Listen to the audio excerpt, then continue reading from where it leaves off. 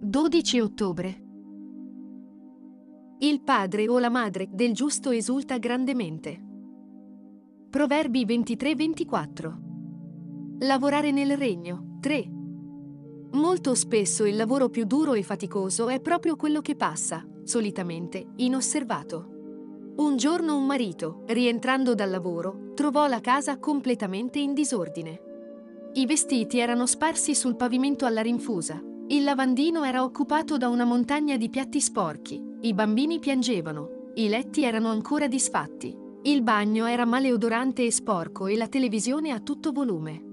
Quando l'uomo chiese alla moglie cosa stesse succedendo, lei, candidamente, rispose, Sai, ogni sera, al tuo rientro, mi chiedi che cosa ho fatto tutto il giorno? Ebbene, quello che normalmente compio, oggi non l'ho fatto. Qualora tu fossi il coniuge cui è affidata l'amministrazione della casa, sappi che Dio reputa il tuo lavoro importante.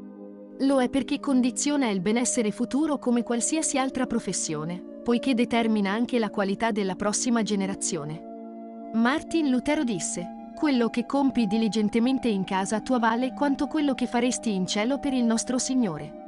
Un giorno Dio dirà, ben fatto. A quei genitori che si sono presi cura dei propri figli facendo loro il bagnetto, dando loro la pappa e pulendo quanto sporcato nonostante la stanchezza e il sapere che nessuno li stesse osservando. Qualcuno, però, sta guardando e ne prende nota.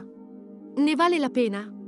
Sei tu che rendi il tuo lavoro rilevante e non il contrario. Quando scopri i doni che Dio ha riposto in te, le passioni che Egli ha messo nel tuo cuore e ti proponi al servizio dei valori in cui credi profondamente, ebbene, stai lavorando per Dio nel vero senso della parola.